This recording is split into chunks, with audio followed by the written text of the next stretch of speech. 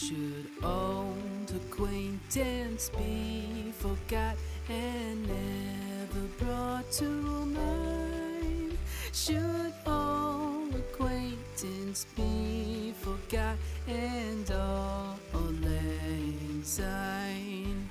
For auld lang syne, my dear, for auld lang syne, we'll take a cup